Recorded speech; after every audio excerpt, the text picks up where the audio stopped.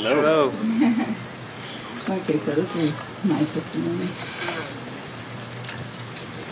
Before coming to Christ, I was a blasphemer.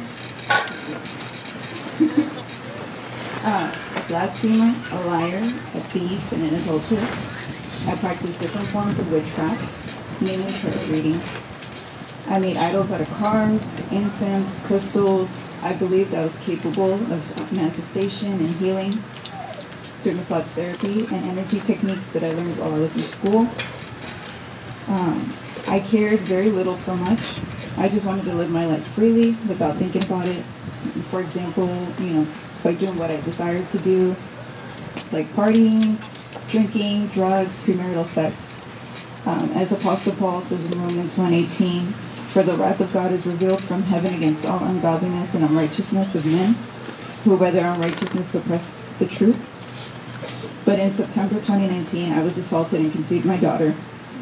But as for you, you meant evil against me, but God meant it for good, in order that, in order to bring about it, as it is this day, to save many people alive.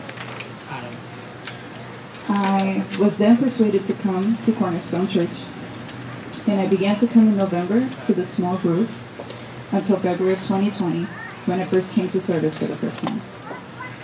It was the first time I had heard, truly heard the gospel in full. For the first time, I felt like I finally understood the love displayed by God and that He sent His only Son to be a propitiation for my sins and suffer even to the point of death on the cross.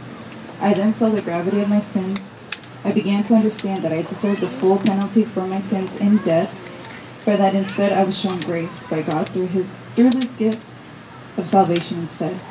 I repented of my sins and continue to repent.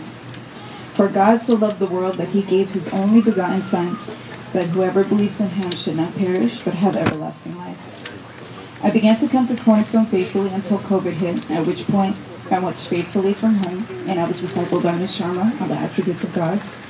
The Lord was gracious in allowing us all to come together once again in the beginning of summer, and after I gave birth to Aaron, I was able to return among the brethren in July.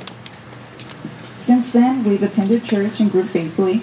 I've worked on my communion with the Lord and actively sought to find a sister to do accountability with each week.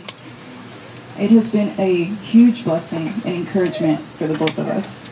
I welcome counseling from elders, whereas before I was reluctant to reach out for help. I'm thankful for each and every opportunity I have to serve the sisters or brethren as I'm able. And the Lord has graciously allowed me to grow in my knowledge throughout the past year and have a hunger to continue to grow and mature in the faith through the help of my sisters in Christ who I love dearly and I'm thankful for.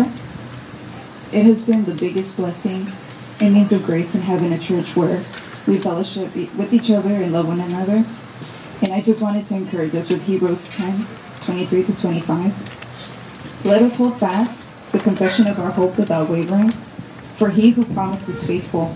And let us consider one another in order to stir up love and good works, not forsaking the assembling of ourselves together, as is the manner of some, some, but exhorting one another, and so much more, so much more, so much the more as you see the day approaching.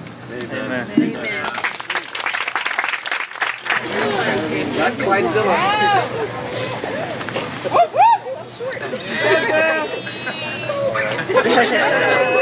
great joy that the Lord has brought Emery to us.